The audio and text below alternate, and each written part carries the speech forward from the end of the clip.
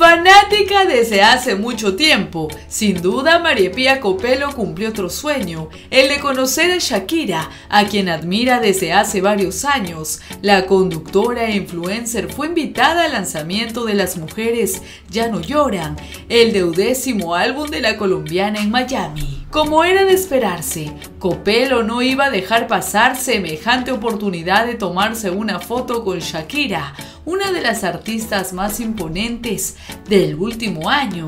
Mediante su cuenta de Instagram, la conductora de Mande quien mande se lució con sus fotos y videos al lado de la artista colombiana. Aún estoy emocionada. Ayer viví una de las experiencias más geniales de mi vida, conocer a Shakira, una artista que admiro muchísimo desde hace muchos años. Fue invitada al lanzamiento de su nuevo álbum, Las mujeres ya no lloran. Aquí les cuento un poco de lo que fue esta noche. Gracias, Sony Music Perú, por la invitación, escribió María Pía Copelo.